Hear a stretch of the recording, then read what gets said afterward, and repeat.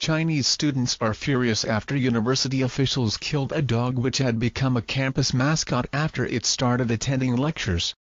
Casper the dog would regularly sit in on English and calculus at the Northwest A&F University in Yangling County in the city of Xi'an, in northwestern China's Shaanxi province.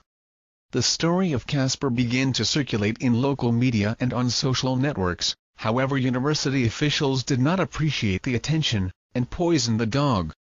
University officials have been accused of having Casper killed as his presence during lectures was damaging its reputation as one of the top universities in China.